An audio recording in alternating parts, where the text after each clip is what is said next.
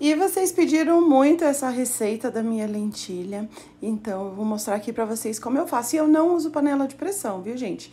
Então eu pico ali uma cebola, vou picar também três dentinhos de alho, é, cortei três linguiças, é, tipo aquelas toscana, e 200 gramas de bacon e uma calabresa em rodelas, tá bom? E depois eu começo a colocar tudo lá no fogo, isso aqui para dourar. Então, tem que ir mexendo e ele vai dourando, criando aquela crostinha no fundo. Aí depois a gente afasta um pouquinho, coloca os dentinhos de alho ali no meio, deixa eles ficar bem fritinho. Aí depois a gente coloca a cebola, deixa dar uma douradinha e depois já mexe tudo, tá?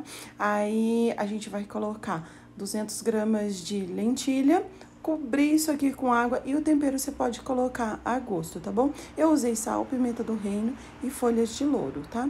Dá uma mexidinha, tampa e não tem segredo. É só deixar isso aqui cozinhar. E não demora, viu, gente? Uma hora isso aqui vai estar tá prontinho. E olha que coisa linda que fica. Você pode finalizar com bastante cheirinho verde, que fica bom demais. E cozinhar sem a panela de pressão, minha gente, faz toda a diferença no sabor final desse prato.